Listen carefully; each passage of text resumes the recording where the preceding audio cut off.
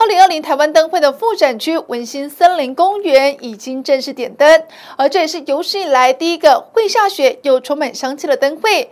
副展区是以童趣乐园为主题哦，引进互斗星球跟热带水果鸟等国际 IP 授权。而市长卢秀燕就表示哦，互斗星球就象征福气满斗，所以来赏灯的民众一定会福气满斗。而展期会持续到元宵节，这也是最长的台湾灯会。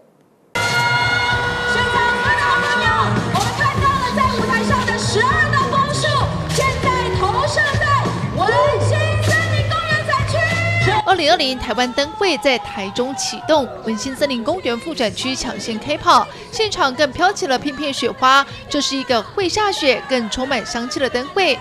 而副展区是以童趣乐园为主题，有五十二组的灯组，以互斗星球最受瞩目。很漂亮，嗯，就很像圣诞节的感觉。拍照吗？嗯，对，我就一路这样拍拍拍拍拍一圈拍过来。嗯，对。好玩吗？好玩，很好玩，很好玩。这次的主题副展区的主题呢，就是互斗星球。互斗哈，福气满斗的意思哈。所以只要来参观台湾灯会哈，只要到台中来参观我们灯会以后，一进福气满斗。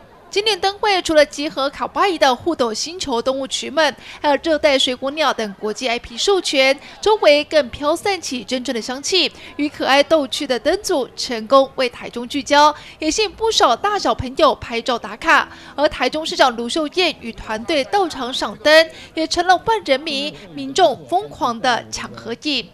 好，这边要来，一二三。这个副灯区呢，副展区呢，有些灯区。会有香味啊，所以你不只是好看，而且好好闻、好香。第三个呢，这个副展区一直从现在开灯，一直要到我们过完年正月完以后啊才结束，所以是史上最长的台湾灯会。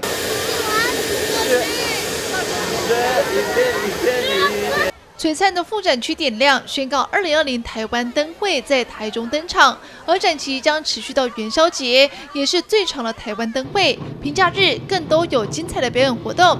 台湾灯会的相衬，让台中越夜越美丽。